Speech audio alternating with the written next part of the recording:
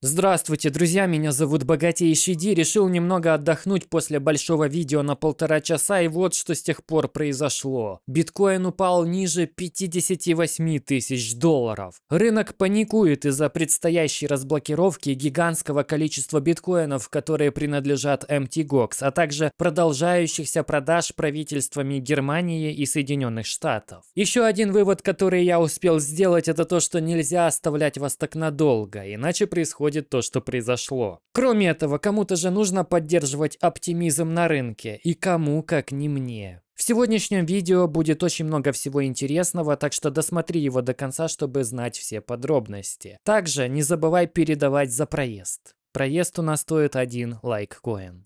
Передал? Большое спасибо. Иронично отметить, что NASDAQ только что достиг нового исторического пика, точно так же, как и S&P 500. Мы наблюдаем бум фондового рынка, а тем временем во втором углу ринга биткоин, который упал до 58 тысяч долларов. Что же происходит? Первое – это страх перед MTGOX. Биржа банкрот вот-вот выбросит на рынок биткоинов на 9 миллиардов долларов. На самом деле, некоторая часть из этой суммы будет погашена наличными, а не биткоинами. Также не вся сумма сразу же попадет на рынок. У получателей будет около 4 месяцев, чтобы получить компенсации. Так что одновременной продажи сразу на 9 миллиардов долларов не случится. И если эти продажи вообще будут, они будут размазаны по времени. Так что ситуация не такая уж и драматичная. Но цена биткоина ведет себя так, как будто нас ожидает Армагеддон. Глупые, глупые рынки. Также эта некоррелированность биткоина и фондового рынка несколько обескураживает, верно? Но мне это напоминает 2019 год, когда фондовые рынки непрерывно достигали все новых и новых исторических пиков, а криптовалюта на этом фоне была просто уничтожена. На этот раз у нас тоже было несколько хороших взлетов цены криптовалют, но и количество ударов ударов по рынку такое большое, что это может разочаровать даже самых стойких холдеров. Все боятся MTGOX, но забывают о Сейлоре, который постоянно покупает биткоин. Забывают о Майкле Делле, который продает акции, чтобы купить биткоин. Продает их на пике, чтобы купить биткоин на коррекции. Все забывают о рекордных притоках в спотовый биткоин ETF, запуск которого стал одним из самых успешных в истории американских ETF. Как только наступает большое и страшное событие, даже не событие, а только слухи и преддверие этого события, мы все опять сходим с ума. Опять же, во многих случаях лай собаки бывает хуже самого укуса. Но тем не менее люди все равно паникуют. У нас есть 140 тысяч биткоинов от MTGOX, которые скоро выйдут на рынок в ближайшие 4 месяца, и поэтому биткоин упал ниже 58 тысяч долларов. Некоторые считают, что распродажа была спровоцирована китом, который продал 1700 биткоинов на Binance в момент открытия японских рынков. Может ли это быть связано с распределением от MTGOX? Возможно. И если это так, то у них осталось всего 138 тысяч биткоинов. Правительство США и Германии также продают биткоин прямо сейчас. Вот данные о переводах биткоинов на бирже от правительства США и Германии. Чем больше пузырь, тем больше сумма перевода. И мы видим, как огромные суммы биткоинов от США и Германии поступают на бирже прямо сейчас, создавая еще больше страха, еще больше неопределенности и сомнений. Люди в бешенстве. Правительство Германии перевело еще 832 биткоина, чтобы продать. В настоящее время у них осталось еще 43 850 биткоинов на сумму 2,75 миллиарда долларов. Что ж, 832 биткоина на сумму 52 миллиона долларов Германия уже продает прямо сейчас. Большая ли эта сумма? Да нет. Это ничтожно мало. Но рынок все равно сбесился. Опять же, на рынках людей пугает не само событие, а его предвкушение. В любом случае, в Германии еще есть множество биткоинов для продажи. Но это не значит, что уже завтра они пойдут и сольют все сразу. Это не значит, что они вообще обязаны продавать. Возможно, им понадобится год, чтобы избавиться от этой суммы в 43 850 биткоинов. Бланк говорит, что если правительство Германии будет продавать 1500 биткоинов в неделю, то их продажи растянутся на 7 месяцев,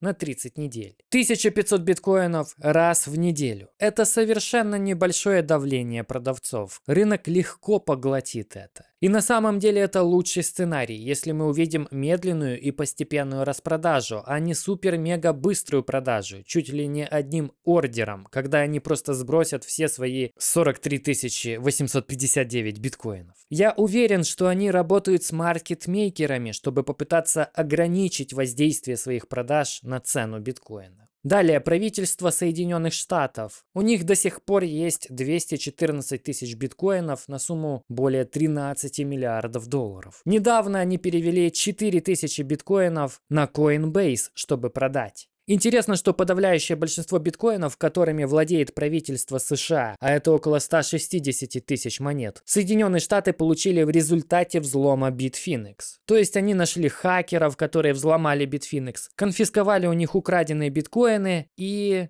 и оставили себе. И я всегда задавался вопросом, разве Bitfinex не собирается вернуть эти деньги клиентам? Но судя по всему, на данный момент это не происходит. И вопрос все равно остается открытым и острым. Почему правительство США не отдает украденные деньги у Bitfinex обратно Bitfinex, чтобы биржа могла вернуть их пострадавшим клиентам? В любом случае США не спешат это делать и пока что хранят 214 тысяч монет у себя. Очевидно, что они продают часть из них иногда. У них регулярно случаются кражи и тому подобное. Само правительство США регулярно продает биткоины. Но сейчас история становится еще интереснее, особенно в свете провалившихся дебатов для Байдена. Дональд Трамп заговорил о биткоине как о стратегическом резервном активе Соединенных Штатов. И я думаю, что было бы разумно разумно так поступить. Подумай об этом. Вместо того, чтобы продавать 214 тысяч биткоинов, которые все еще хранятся в правительстве США, возьмите их и положите в Центральный банк как резервный актив и держите их. Что вы теряете, если он обнулится? Вы, блин, правительство США. Для вас это не имеет значения. Но если он вырастет до миллиона долларов за монету,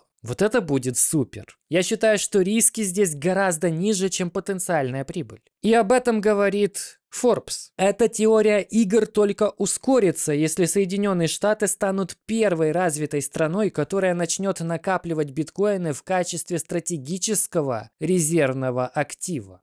Это решение ускорит глобальное принятие биткоина в качестве долгосрочного средства сбережения в виде цифрового золота. В этом сценарии США получили бы самую большую прибыль среди стран ОСР, благодаря преимуществу первопроходца. Да, только что закончился срок действия петродоллара. Так почему же не перейти на биткоин-доллар? Это было бы просто безумием. Но давай попридержим лошадей и не будем на это надеяться, потому что, опять же, политики могут много чего наговорить, и Трамп в том числе. Но Трамп уже задумывается об этом. Биткоин как резервный актив США. Вот это да. Ну а пока что биткоин, несмотря на это падение, все еще находится в этом боковике, который тянется с февраля 2024. Если он выпадет из этого боковика в сторону понижения, падение биткоина может стать еще больнее. И следующие зоны поддержки находятся около 52 тысяч долларов в этом диапазоне и около 44 тысяч долларов в этом диапазоне. И пока мы говорим об этом, цена биткоина все еще удерживает 200-дневную среднюю скользящую, вот эту желтую линию. Это основная линия поддержки всего булрана, так сложилось исторически. Удержать эту линию в качестве поддержки очень важно. Нам нужно, чтобы биткоин удержался на этом уровне, если мы хотим отскока и продолжения роста. Пробой ниже этого уровня начнет разрушать структуру бычьего рынка и действительно ускорит падение к следующим уровням поддержки, о которых мы только что говорили. Если эта линия не удержится в качестве поддержки, то достижение этих уровней будет более вероятным. Опять же, я думаю, что люди, вероятно, немного переборщили с реакцией на эти новости на рынке. Но если японский кит получит 5000 биткоинов и сразу же продаст их на рынке, это может вызвать проблемы. В любом случае, сейчас мы находимся на уровне около 58 тысяч долларов за биткоин, и было бы неплохо увидеть отскок от 200-дневной средней скользящей. Это будет позитивным сигналом. Но проблема в том, что клиенты MTGOX ожидают свои биткоины уже 10 лет. Большинство этих людей покупали биткоин намного дешевле, чем сейчас, и поэтому я не стану их винить, если они захотят продать их для того, чтобы зафиксировать свои масштабные прибыли. Опять же, в этой истории больше страха, чем сути, и страх сейчас движет рынком, и нет лучшего времени покупать, чем когда все боятся. Я бы хотел увидеть пересечение на МАКДИ, что-то вроде этого. Вот этот крест. Также я бы хотел увидеть крест смерти на этих двух средних скользящих. Когда все это случится, можно будет рассчитывать на разворот тренда. Крест смерти обычно запоздалый индикатор, и несмотря на распространенное мнение о том, что это медвежий признак, на самом деле это совсем не так, ведь после него скользящие часто начинают разворачиваться, а вместе с ними и цена. До того, как это случится, цена биткоина может упасть до 52 тысяч долларов, следующий диапазон поддержки, о котором мы уже говорили. Но это хорошие возможности для накопления драгоценных сатоши. Как отмечает Квинтон, представьте, что вы продаете свой биткоин прямо сейчас перед фейерверком. Об этом довольно интересно подумать. Биткоин пережил халвинг всего два месяца назад, а все уже сходят с ума от страха. Время после халвинга биткоина всегда нестабильно и волатильно. Посмотри на любой период после халвинга. Так было всегда. Но спустя 6-12 месяцев после халвинга посмотри, что всегда происходило. В любом цикле. И я знаю, что история не повторяется, но она часто рифмуется. Это просто пища для размышлений. Если принять это во внимание, а также учесть тенденции к росту ликвидности, продавать биткоин лично для меня – это просто преступление против собственной же семьи. На макрорынках сейчас происходит что-то очень странное. График показывает, что обеспеченная ставка финансирования overnight подскочила до 5,4%, самого высокого уровня в истории. Но что это значит?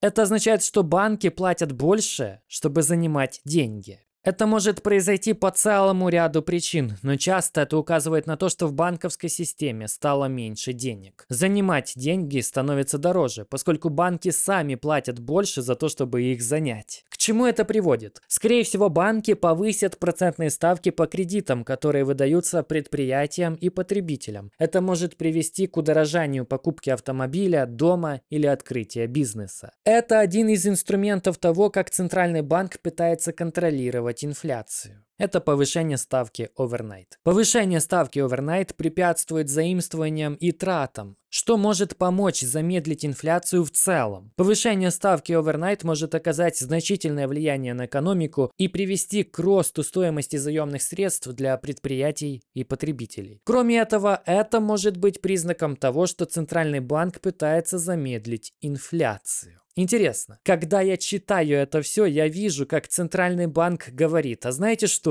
мне кажется, что в недалеком будущем мне, вероятно, придется напечатать кучу денег. Надо подготовить почву. Вот так выглядит подготовка почвы. А значит, вливание ликвидности в систему приближается. Ставки по кредитам overnight сходят с ума сейчас. И знаешь, что было в прошлый раз, когда это случилось? Они напечатали большую, толстую пачку денег в триллионы долларов. Джона говорит, что биткоин будет расти еще выше. Ожидается, что 80% глобальных центральных банков перейдут от политики ужесточения к политике смягчения. Количественное смягчение – это печать денег, снижение процентных ставок и снятие ограничений, которые были наложены на экономическую систему. Иными словами, деньги будут возвращаться в систему. Процентные ставки будут снижаться. Конечно, больше всего нам нужно, чтобы процентные ставки в США были снижены. И, конечно, при условии, что мы не находимся в рецессии, ведь если они будут снижать ставки в последний момент, чтобы спасти нас от жесточайшей рецессии, нас будет ожидать совсем другой сценарий развития развития событий, больше похожий на 1929 год. Быстрое обновление по спотовым эфириум ETF. Сегодня мы получили еще одну измененную заявку от Bitwise. Об этом пишет Джеймс Сейферт, который является одним из специалистов по ETF в Bloomberg. Также он добавляет, что они в Bloomberg ожидают, что спотовые эфириум ETF будут листиться уже на следующей неделе. Что ж, это было бы очень хорошо. Это может придать немного ветра в паруса эфириума и альткоинов. Биткоин может на некоторое время застопориться из-за давления продаж, а эфириум и все наши альткоины наоборот взлетят.